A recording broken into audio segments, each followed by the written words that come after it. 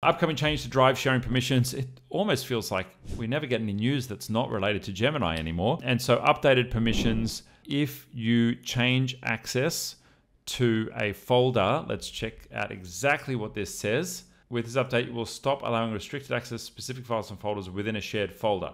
Okay, so what it means is if you set parent level permissions, it's going to get a bit technical, but for some people, this is really important particularly IT managers who have lots of users and are very diligent with sharing settings.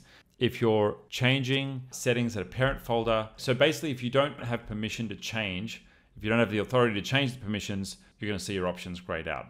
Effectively, if someone with more permission has already shared a folder, you're not going to be able to unshare that folder. I don't know exactly why Google made this change, but these are the kind of changes that people with large Google Drives really care about. So for me, I try and keep the permissions pretty simple for us we have a series of shared drives. There's a shared drive for each area in the business. We have a set of groups for each area in the business. And then we share those groups to those shared drives. Someone comes on board, they're on the finance team, they get added to the finance group, they automatically get access to the finance shared drive. Refine. Remember, I said Refine is coming to everywhere? Refine Google chat messages with Gemini to communicate with confidence and clarity. And maybe English is not your first language, or whatever language is not your first language that your company is in you bang out a message and you decide, yep, I want to refine that. Google's going to give you the option with one button there to refine your messages. I do really like that. This can be useful when composing an important message to a large space or a senior stakeholder. There we go, or communicating in a second language. That was my tip there. So I'm hoping this comes out immediately. Uh, there we go. But yeah, full rollout is not going to be for a couple of weeks. So look forward to that. It does look like Business Standard and Plus are getting it only.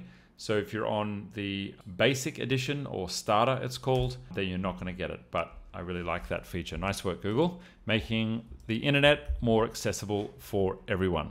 Next up, generate data with AI function in Sheets is now available in seven additional languages. This is just a language rollout, but I wanted to mention it again because this is a great feature if you've not yet used it. If you, now funnily enough, it's giving me the Spanish option, but when you are working with a cell or a row of data, you can have a plain text transformation instruction added, and Google will run through and automatically update each of your cells based on your plain text instruction.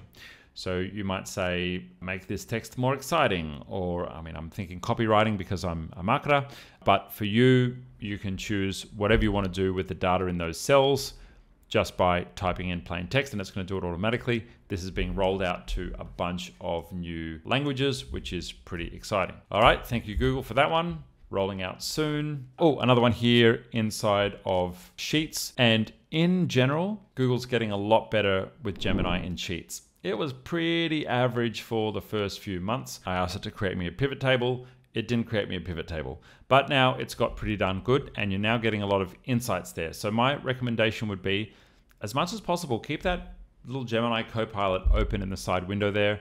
Speaking of Copilot, Microsoft had this well before Google, so they're really trying to catch up and make sure that you have a great experience inside of Sheets. Try that one out and let me know how you go. If you liked this video, we've got plenty more on the channel covering this topic and much, much more.